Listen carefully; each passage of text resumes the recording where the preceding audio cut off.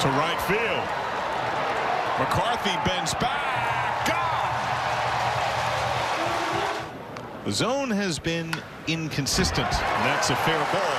Votto sprints around first. McCarthy from right plays the carom standing double as Joey Votto. I'm not sure if Madison Bumgarner was totally aware. Yeah, he didn't want to give up the baseball. They wanted to authenticate the historic baseball, so he was ticked off that he had to give up the ball, didn't understand. And then once they threw him a new ball, he's like, you know what? I don't want the ball you just threw me. Let me throw this aside. Give me another one. Greene, the 22-year-old right-hander, has set down 20 consecutive batters and has faced the minimum through seven.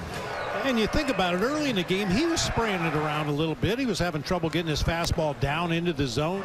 Greene has given up a bunt hit and faced the minimum. You got your fishing rod?